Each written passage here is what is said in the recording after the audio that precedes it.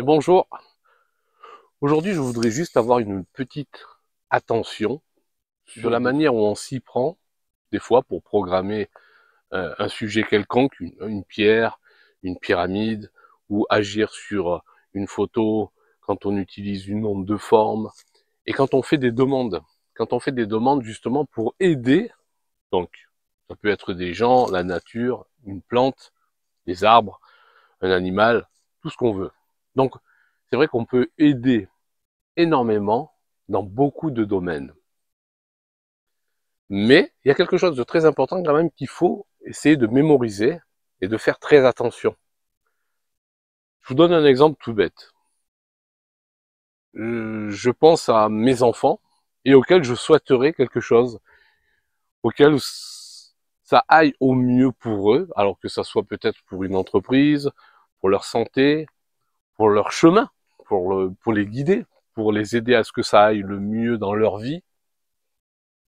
Alors, quand c'est comme ça, ben, il y a plusieurs méthodes. Et j'essaierai de vous faire des petites vidéos très courtes pour vous montrer comment je m'y prends. Et donc, je peux prendre très bien la photo de, de mon enfant,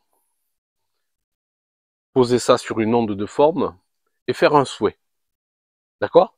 Donc, j'envoie toutes les vibrations où, où je demande à mon canal de recevoir toutes les vibrations nécessaires pour avoir aussi les bonnes fréquences nécessaires pour aider éventuellement mon enfant. Mais attention par contre à ne pas demander quelque chose de bien concret, bien précis. Parce que vous n'êtes pas sûr aussi d'avoir vous la bonne réponse. C'est là où je voudrais mettre le petit point sensible. Quand je demande, que ce soit pour mon animal, une plante, mon enfant ou autre, je fais toujours attention à demander à ce que je reçoive et que je transmette les bonnes vibrations et surtout la bonne fréquence qui correspond à mon enfant ou au sujet. Ça, c'est très important. Pourquoi? Parce que je n'ai pas le droit de décider de sa route, de ce qu'il doit avoir ou de ce qu'il ne doit pas avoir. Encore un autre exemple. Imaginons que vous avez une personne qui est à côté de vous qui travaille comme un fou pour pouvoir s'acheter une nouvelle voiture, une nouvelle moto, un nouveau vélo ou autre, quelque chose. Je ne vais pas, moi, prendre sa photo, poser sur une onde de forme ou agir avec une pierre en disant je fais tout pour qu'il réussisse à s'acheter son nouveau véhicule, son nouveau vélo ou autre. J'ai pas le droit de décider on n'est pas censé savoir que ça fait partie de sa route ou de son chemin.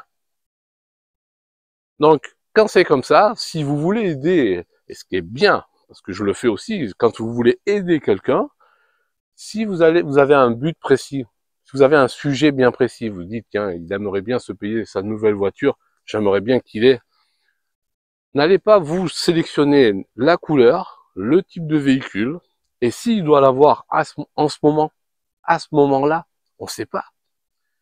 Donc je demande toujours apporter un maximum de bonnes vibrations, les bonnes fréquences à ce qui correspond.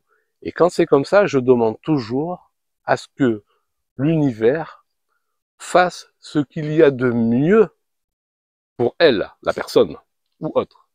Voilà ce que je demande. Je demande à ce que l'univers, je demande toutes les forces invisibles.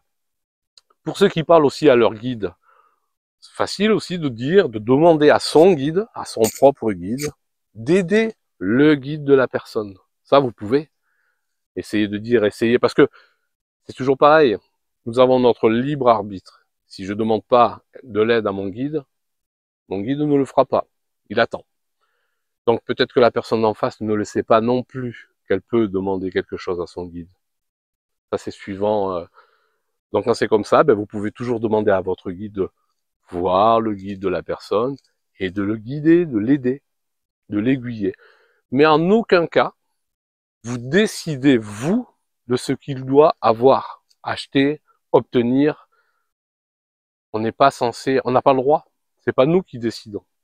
Donc, on demande de l'aide, on demande de ce qu'il y a de mieux. Je demande d'envoyer les meilleures fréquences à ce que tout cela corresponde à la personne. Ça, vous pouvez. Et tant que vous agissez comme ça, vous agissez que du côté, euh, comme je dis, le bien. D'accord? Soyez généreux dans ce sens-là. Et vous faites la même chose quand vous agissez sur une plante pour la soigner. Vous dites pas, euh, je transmets une onde, une fréquence qui correspond à de l'engrais ou à un fortifiant quelconque. On n'est pas censé savoir ce qu'il faut pour la plante. Parce qu'on risque de faire plus de mal qu'autre chose. Donc, je demande à traiter la plante. Je demande à ce que l'univers m'aide à m'apporter toutes les bonnes vibrations et les bonnes fréquences qui correspondent et que la, la plante a besoin. C'est l'univers qui décide. Voilà. C'est très important d'agir comme ça, parce qu'autrement vous risquez de vous tromper, vous risquez de faire un jugement. On n'est pas médecin, on n'est pas euh, toujours jardinier, on n'a pas toujours l'instinct de dire, ben, tiens, il faut faire comme ci et comme ça pour la soigner. Vous n'êtes pas sûr de le savoir, de savoir exactement cette chose-là. Donc demandez à l'univers qui vous aide, mais ne prenez pas vous de décision.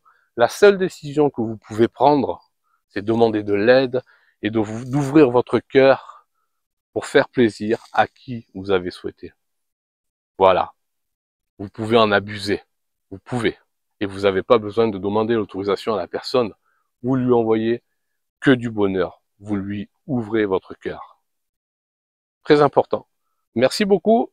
Merci de m'avoir écouté et je vous dis à la prochaine. Au revoir.